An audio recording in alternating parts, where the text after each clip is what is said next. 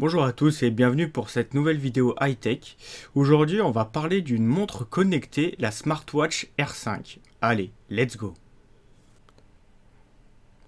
nous y voilà donc, donc euh, les plus affûtés d'entre vous l'auront compris, il s'agit donc d'une smartwatch 100% euh, euh, chinoise donc qui est proposé à très bas prix sur le site internet euh, Banggood et bien d'autres.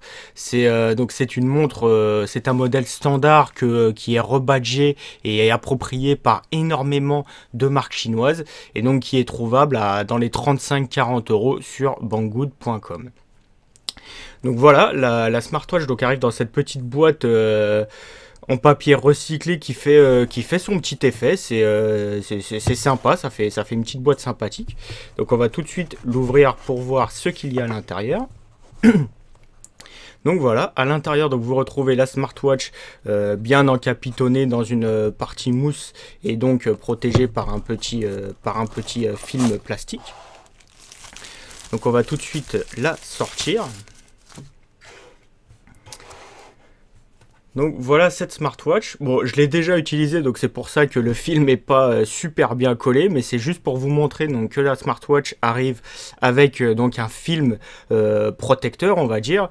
Donc il vous demande de, peel off, donc de, retirer la partie 2 donc du film et donc ça va vous déposer enfin ça va laisser sur l'écran donc le film plastifié protecteur donc on va faire le petit tour euh, extérieur déjà. Donc euh, ce modèle chez Banggood en tout cas est dispo en trois coloris. Donc vous l'avez en noir comme ceci, vous l'avez en stream gold comme ils disent, donc c'est euh, du doré on va dire, ainsi que en version silver donc type, argent. Donc vous avez un bracelet qui est en caoutchouc avec euh, un petit système, euh, on va dire pour éviter que la montre ne pivote sur votre poignet. Euh, j'avais peur que ça, ça, gêne lors du port de la montre, mais, pas du tout. Donc deux anneaux pour passer le, résidu de, bracelet, on va dire, car comme vous allez pouvoir le constater quand je vais la mettre, je pense pas avoir un, poignet plus gros ou plus petit que la moyenne, je pense être dans la moyenne, mais le bracelet est énormément long la boucle étant en euh, acier. Vous avez euh, des capteurs sur le dessus. Euh, je pense que c'est des capteurs de luminosité, bien que je n'ai pas vu de, changement de, luminosité de l'écran. Vous avez donc le bouton marche arrêt et le bouton qui va vous permettre de switcher entre l'écran d'accueil et les écrans des menus, on va dire. Du côté gauche, vous avez le port USB qui va vous permettre de recharger votre euh, smartwatch. Je parlerai de l'autonomie plus tard dans ce test. Vous avez ici un micro pour, euh, prendre les communications de votre téléphone. De l'autre côté, vous avez le haut-parleur qui va vous permettre soit d'écouter de la musique ou de, de prendre, donc d'entendre vos conversations téléphoniques. Euh, la vitre, la glace, on va dire, a l'air d'être en... Euh, soit c'est du plastique euh, dur, soit c'est du verre, je, ne saurais pas trop vous dire de quoi il en retourne. Le, dos de la montre est en plastique vissé. Et le châssis extérieur donc est en, ferraille peinte avec, avec du vernis. Je ne pense pas que ce soit de l'aluminium, je verrais plus un peu un, un bout de ferraille chinois de base, on va dire. Quoi. Donc on va finir le déballage de la boîte. Donc la mousse de protection. Ensuite, vous avez le câble USB qui va vous permettre de charger donc votre montre. Donc c'est un USB micro USB. Ainsi que un certificat de contrôle qualité qui n'est pas rempli. Merci, au revoir ainsi que le euh, user guide, donc le manuel d'utilisation en anglais, avec le QR code à flasher pour récupérer l'appli sur, euh, sur le Google Play Store. Donc là, c'est un, c'est un, c'est un manuel très sommaire qui vous explique, on va dire, les, les rudiments de, de l'utilisation de la montre. Mais comme vous allez pouvoir le voir, c'est assez, euh, pour celui qui a l'habitude des smartphones ou autres, euh, ou autres, euh, comment dire, ou autre gear de haute technologie, il n'y a pas, il a pas 36, il y a pas 36 façons. Enfin, c'est très, très intuitif. Oui, de l'autre côté, pour ceux que ça intéresse, c'est en, c'est en chinois. Si certains d'entre vous parlent le chinois, faites-vous plaisir. Donc on va tout de suite se débarrasser de cette boîte pour attaquer le vif du sujet, pardon, la montre en elle-même. Donc, première chose à faire quand vous recevez la montre, c'est de la charger, bien sûr. Et ensuite, on va donc l'allumer tout de suite. Vous restez appuyé sur le bouton.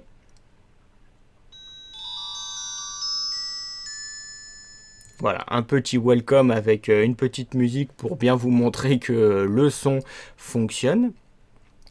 Donc ce bouton, comme je vous disais, va vous servir. Voilà, donc là, vous pouvez régler le, euh, le laps de temps que l'écran va mettre à s'éteindre. Donc c'est ce qui va vous permettre de réactiver l'écran.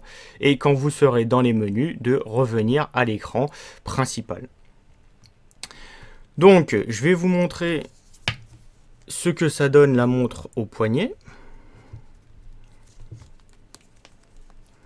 Comme je vous disais, je pense avoir un poignet qui est plutôt dans la moyenne. Et vous voyez, je suis obligé de me mettre au dernier cran du bracelet, ce qui fait euh, bah, toute cette longueur de bracelet euh, en rab. Donc quand on la met dans les passants, et eh bah, vous, allez, euh, vous allez pouvoir constater que bah, ça remonte. Ça remonte quasiment jusqu'au bout, du, bracelet. Donc ça, c'est pas, top, on va dire. Je sais pas quelles mesures ils ont pris pour, euh, pour faire le bracelet. Mais du coup, euh, bon, on peut dire que du coup, c'est one size fit all, comme disent les, euh, Anglais. Donc en gros, c'est du uni-taille. Donc on va rentrer en détail. Donc l'écran d'accueil, donc là vous avez la fonction appareil photo. Donc c'est un raccourci vers la fonction qui va vous permettre de prendre la main sur l'appareil photo de votre téléphone. Euh, l'icône, le, raccourci pour le podomètre et l'icône pour le paramétrage. Donc là, c'est un paramétrage très euh, global de la montre, on va dire. Donc vous allez pouvoir régler la langue, à savoir que le français est disponible, mais il y a énormément d'inversions.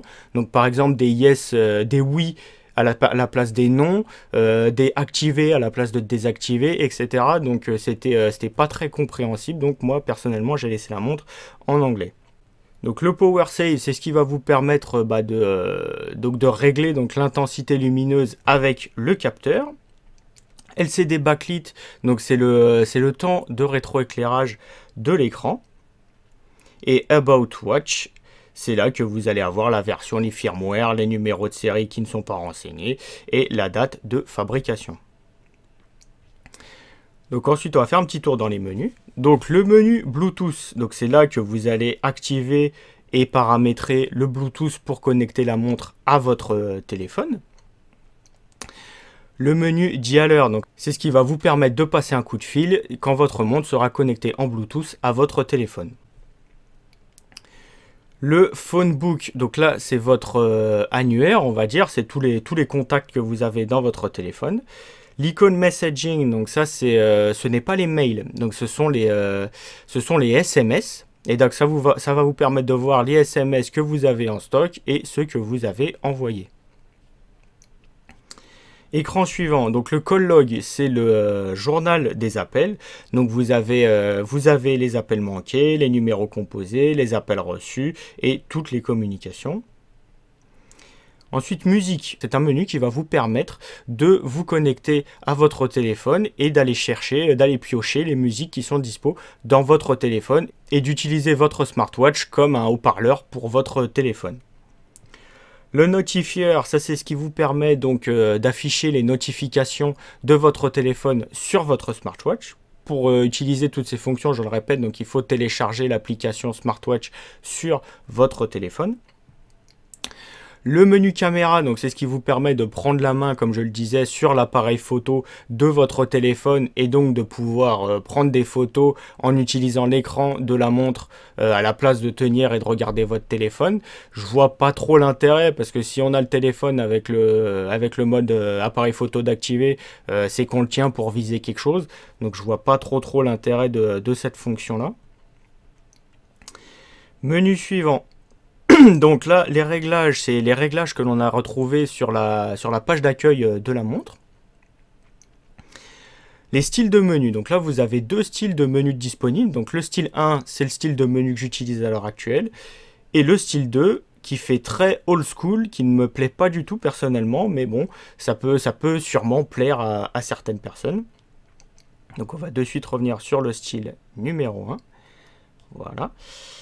Le anti-lost system, donc c'est ce qui vous permet de faire, euh, on va dire, de faire euh, vibrer ou sonner votre montre pour, euh, la retrouver si au cas où vous l'auriez paumé.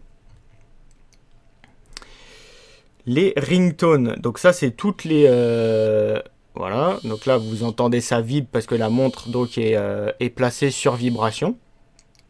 Mais donc c'est ce qui vous permet de, euh, de, régler euh, le, moyen de... Bon, on va retirer ça. C'est ce qui vous permet donc de régler la notification quand vous avez une communication entrante, un message ou euh, toute notification de votre monde. Donc vous avez le choix soit de la passer en mute, donc en muet, soit la vibration comme je l'ai fait pour que ce soit euh, plus ou moins silencieux, on va dire, soit euh, d'avoir, vous avez un choix parmi euh, des, des, mélodies proposées qui sont loin d'être top, mais bon, pour ceux qui veulent utiliser la version mélodie, c'est possible. Vous avez le Sleep Monitor, donc c'est ce qui vous permet un peu de monitorer votre qualité du sommeil, un peu comme les bracelets, bracelets connectés que l'on peut retrouver sous divers marques. Le podomètre, donc euh, c'est ce qui va vous permettre de mesurer le nombre de pas que vous faites dans la journée et les calories dépensées, pareil comme certains bracelets connectés. Donc vous réglez votre euh, taille, votre poids, la distance euh, que vous faites entre chaque pas et donc il va calculer donc le nombre de pas et les calories dépensées dans la journée. Vous avez la fonction chronomètre donc qui va vous permettre de bah, donc d'utiliser votre montre comme un chronomètre on va dire excusez-moi. Voilà. Ensuite, vous avez donc le réglage de l'heure et de la date et le format de l'heure si vous voulez du 12 ou du 24 heures. Donc moi au début j'ai cherché cette fonction donc dans les, dans les settings, donc dans les réglages de, la montre, mais euh, il y a donc un menu spécifique au réglage de la date et l'heure de la montre. Vous avez le choix entre deux types euh, d'affichage de l'heure. Donc moi j'ai choisi le Digital One et sinon vous avez le Analog One qui ressemble donc à ça. Donc c'est euh, la, même, la même heure sauf qu'avec le jour et euh, la date et les aiguilles en fait. Donc vous avez des aiguilles au lieu d'avoir un affichage type digital comme ceci. Donc ensuite, vous avez un, petit euh, soft, on va dire, qui vous permet de, retrouver votre téléphone. C'est un peu le même principe que le anti-lot, sauf que là, au lieu de faire sonner la montre, ça va faire sonner ou vibrer le téléphone pour retrouver votre téléphone si vous ne savez plus où vous l'avez foutu. Vous avez euh, une icône alarme, donc qui va vous permettre de, euh, de donc de régler plusieurs alarmes et donc de choisir laquelle vous allez euh, utiliser pour soit vous, comme réveil ou soit vous avez un rendez-vous, vous mettez une alarme. Pareil, soit vous pouvez choisir soit la vibration, soit les différentes mélodies dispo dans le soft de la montre. Et donc on revient donc ensuite au début du menu. Donc là, je vais tout de suite activer le Bluetooth pour vous montrer la connexion. Donc là, vous avez euh, euh, dans, cette icône de Bluetooth, vous avez donc les, euh, les appareils que vous avez déjà appairés à la montre. Donc là, en l'occurrence, mon téléphone. Donc ensuite, vous allez dans Bluetooth Setting. Vous voyez qu'il est sur Off. Vous le switchez donc sur On. Donc là, le Bluetooth est activé. Vous voyez l'icône Bluetooth qui s'est affichée en haut sur votre montre. Ensuite, il vous suffit d'activer le Bluetooth sur votre téléphone, comme ceci. Voilà.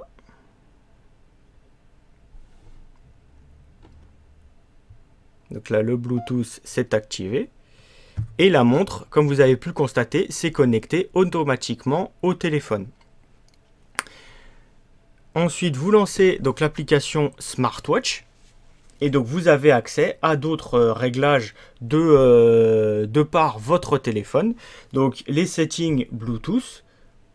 Donc ce sont euh, en fait c'est juste un raccourci vers les settings Bluetooth de votre téléphone les settings basiques de la montre. Donc là, c'est ce qui va vous permettre de faire les, euh, de régler toutes les notifications sur, euh, que le téléphone va envoyer à votre montre. Donc là, c'est ce qui vous permet d'activer le, push des applications vers votre montre. Donc pour avoir les notifications, il faut activer ces paramètres-là. Le Health Control, c'est votre, euh, c'est votre euh, c'est le podomètre. Donc le podomètre et le sommeil, vous allez pouvoir le checker sur cette euh, partie de l'application. Ici, vous pouvez modifier, bon, c'est customize, on s'attend à énormément d'options, mais au final, c'est juste pour euh, modifier le nom Bluetooth de votre montre. Et vous avez un App Store qui est uniquement en chinois, donc je ne vois pas trop l'intérêt de de cet App Store.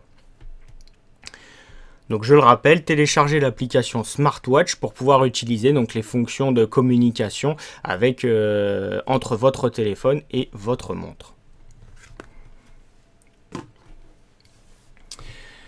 Donc voilà, d'un point de vue, euh, euh, explicatif du soft et d'un point de vue fonctionnel de la montre, comment ça fonctionne. Donc ensuite, moi, je vais vous donner mon ressenti donc sur, euh, après une semaine d'utilisation avec cette, euh, smartwatch R5. Donc comme je le disais, c'est un modèle qui est très très commun sur les sites euh, de vente chinois, on va dire, tels que Banggood, Deal Extreme, etc. etc qui est badgé sous énormément de marques. Il y a eu les AirWatch, il y a eu les Smartwatch, il y a eu les X ou Y euh, marques, X ou Y modèles, mais vous la retrouvez le plus souvent sous la dénomination R5. Donc en termes d'utilisation, c'est euh, bon hormis comme je vous disais le boîtier, le boîtier, hormis le bracelet qui est vraiment très très long. C'est une montre qui fait, euh, qui fait son petit effet quand vous la portez. Les gens, euh, bah, les gens vous demandent qu'est-ce que c'est comme montre. Ça ressemble un peu au, euh, smartwatch que l'on peut trouver chez, chez les gros constructeurs comme Samsung, LG ou Sony. C'est sûr que c'est pas du tout fait pour réaliser contre ces montres-là d'un point de vue soft, comme vous avez pu le voir, c'est un soft qui est très très simpliste, mais qui a tout de même les fonctions de base, à savoir la euh, reconnaissance de votre téléphone et le forward euh, des messages SMS et des communications. Vous pouvez prendre des communications de votre téléphone avec votre montre sans avoir à sortir votre téléphone de votre poche ou de votre euh, sac. La qualité des communications est loin d'être transcendante. Il ne faut pas hésiter à soit parler fort, soit à rapprocher le micro de son visage pour que les gens vous entendent. Mais euh, c'est euh, comment dire, c'est du dépannage qui peut, euh, pour prendre les communications en dépannage, ça peut tout à fait faire son affaire. La puissance du, haut-parleur est assez élevée. Je n'ai pas encore vu euh, la possibilité de pouvoir modifier le volume sonore du, euh, haut-parleur, mais euh, si je trouve la fonction, je n'hésiterai pas à vous en faire part dans une autre vidéo. Concernant l'autonomie, donc en ne gardant pas le téléphone connecté en Bluetooth tout le temps, j'arrive à tenir une petite semaine avec une seule charge. Je la charge le, le lundi matin et le vendredi soir, elle est vous pouvez voir donc l'indicateur de charge qui est en haut à droite. Euh, ça clignote, c'est limite, euh, elle, est, elle est à l'agonie, mais on arrive à tenir une semaine complète sans, euh, sans abuser, on va dire, de la fonction Bluetooth. Faut, après, pour ceux qui veulent vraiment l'utiliser comme une, smartwatch complète, c'est-à-dire de vraiment communiquer avec son téléphone, de prendre les communications, etc., euh, honnêtement, pour 35 euros, elle fait très bien son boulot, mais si vous voulez une smartwatch dédiée à cet usage, acheter une smartwatch d'une grosse marque qui a un soft correct, compétent et, euh, qui a beaucoup plus de fonctionnalités, d'efficacité et de qualité de, de rendu, on va dire. Mais je le rappelle, donc pour 35 euros, c'est le prix que je l'ai payé personnellement chez Banggood ce serait bête de s'en passer pour la personne qui est intéressée par ce genre de, euh, de gadget et donc ce genre de technologie. Donc on se retrouve euh, dans quelques instants pour la, vraie conclusion de cette vidéo, on va dire, même si je l'ai déjà bien, bien avancé euh, maintenant. Donc on se retrouve dans quelques instants. Allez, à tout de suite. Nous voilà donc arrivés au terme de cette présentation review de la smartwatch R5. Donc comme je le disais, c'est donc une montre 100% chinoise, une montre connectée 100% chinoise, qui est dispo à un tarif très très raisonnable de 35 euros dans les magasins tels que Banggood ou autres euh, magasins identiques, on va dire. Donc en remettant les chances à leur place, donc avec ce tarif de 35 euros, euh, cette montre est imbattable, on va dire, car la construction est d'assez bonne qualité, les matériaux sont assez flatteurs de, loin et même de près d'ailleurs, ça c'est propre, c'est pas dégueulasse, on va dire ça fait son petit effet.